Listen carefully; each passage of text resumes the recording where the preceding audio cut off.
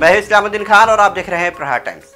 मुमरा में लगातार ठाणे महानगर पालिका की कार्रवाई जारी है। शाम के वक्त मनपा अधिकारी सागर सालुंखे और मुमरा पुलिस की टीम ने मित्तल ग्राउंड के पास से कार्रवाई शुरू की है।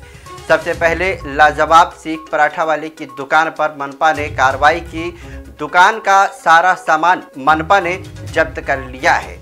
इसके अलावा बाहर लगे जो तालपत्री थी उसे भी तोड़ दिया है। तस्वीरों में आप देख सकते हैं कि मनपा ने किस तरह से लाजवाब सीख पराठे वाले पर कार्रवाई की है? इसके अलावा गुलाब पार्क मार्केट जो है, उस लाइन में जितने भी लोग जो पीली पट्टी के बाहर धंधा लगाए हुए थे थाने महानगर पालिका के अधिकारियों और कर्मचारियों ने इन पर भी कार्रवाई की है, जो पीली पट्टी के बाहर धंधा लगाए हुए थे। ये तस्वीरें जो है, आप देख सकते हैं कि किस तरह से ठाणे महानगर पालिका ने कार्रवाई की आपको बता दें कि मुमरा शहर में ट्रैफ़िक का इशू काफ़ी दिनों से चल रहा है और इसी को लेकर लगातार ठाणे महानगर पालिका कार्रवाई कर रही है।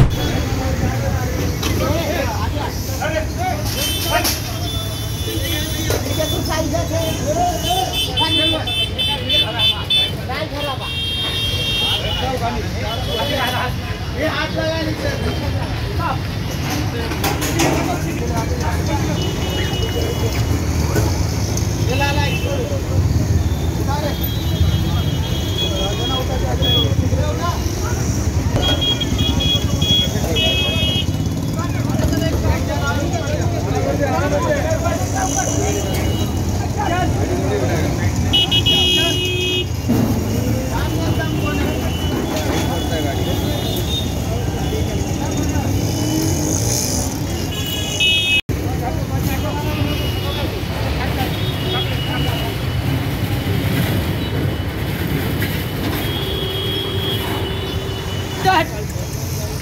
Beep.